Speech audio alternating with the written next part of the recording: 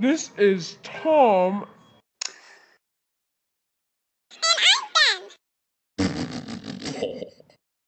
Yes, that was very funny because his name really isn't Ben.